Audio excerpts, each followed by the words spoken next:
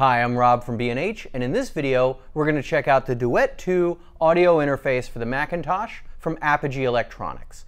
The first Duet set new standards for portable audio interfaces, and the Duet 2 adds some significant improvements. New features include OLED metering, redesigned mic pre's and converters, soft limiting, higher sample rates, touchpads, and more.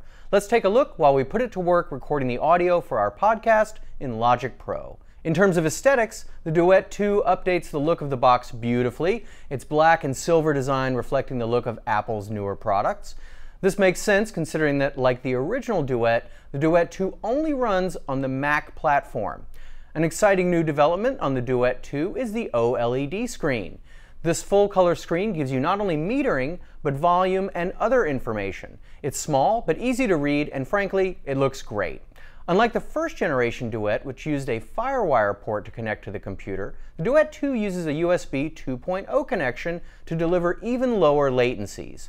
The USB bus also supplies power, although an external power supply is included should you need it. Most users, however, won't need it unless they're using the phantom power option and outputting high volume levels to low impedance headphones. The Duet 2 keeps the single encoding knob concept from the original Duet, Pressing the knob lets you move between functions and then serves as a level control both for inputs and outputs.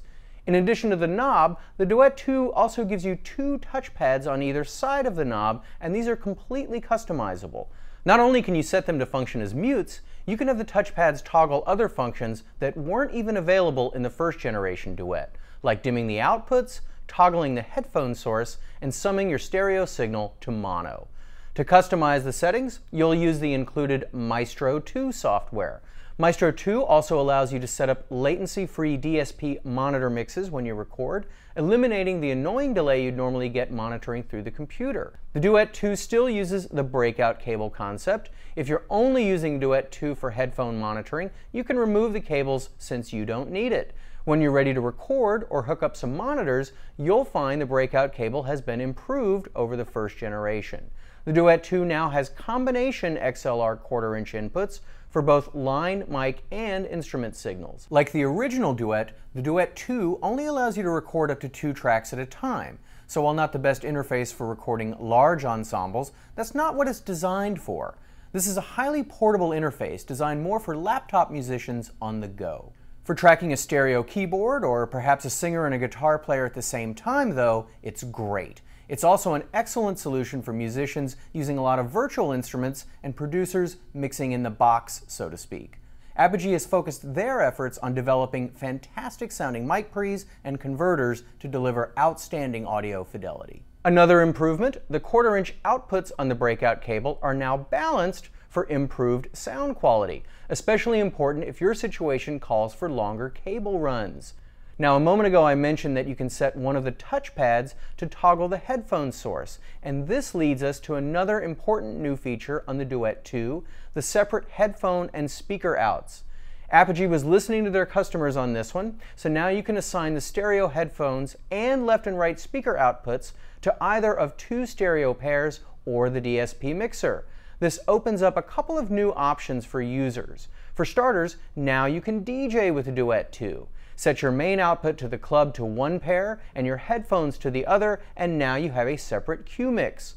Cue up the next track in headphones without disturbing the main outs. I tried it out with Traktor and it worked great. Alternatively, you can also set up a cue mix for a musician that's completely separate from the studio monitors. So this is a great new feature on the Duet 2.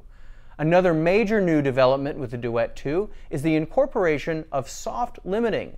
Soft limiting will round off transient peaks before they reach the analog to digital converter, allowing you to record at hotter levels and giving you a warmer, more analog sound. Let's test it out. Okay, I cranked out my input and oh yeah, it's clipping all right. Now I'm going to gauge soft limiting. I'll continue yammering and lo and behold, my dulcet tones are no longer clipping. Soft limiting won't save you if your input levels are ridiculously hot, but if you have a reasonable level going to your DAW, soft limiting will keep a few transients from ruining an otherwise perfect take. A couple more improvements to mention for the Duet 2 include a sampling rate up to 24-bit 192 kHz on the redesigned converters, and improved mic preamps, still with up to 75 dB of gain, and of course, the Duet 2 has optional phantom power for microphones. An accessory to consider with the Duet 2 would be the breakout box from Apogee. It's a good option if you want to replace the travel-friendly breakout cable with a sturdier, more robust connector for more permanent situations like studio use, for example. It's got solid aluminum construction and a six and a half foot cable to keep those unsightly connections away from your beautiful interface. So hopefully that gives you a reasonable overview of this ultra portable USB 2.0 audio interface. Apogee's Duet 2 smartly keeps the best aspects of the highly regarded original Duet, but enhances them with an OLED screen, touchpads, improved audio quality, and more. For more information on the Apogee Electronics Duet 2 USB 2.0 audio interface, or any of our other audio interfaces, visit us online, give us a call, or stop by our New York City Superstore. And as always, thanks for watching.